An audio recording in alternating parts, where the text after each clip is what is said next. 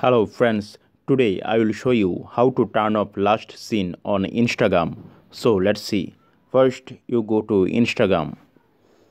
Okay, then you click on here. Okay, then you click on here.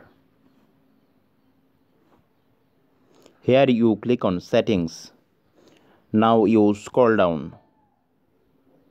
Now here you see a option activity status. You click on this. Okay, now here you see what is written show activity status. You have to make this disable. So you click on this. Okay, done. Now it is disable.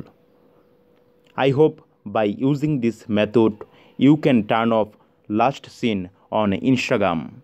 Thank you very much for watching this video. If you like this video, please share this video and subscribe my channel.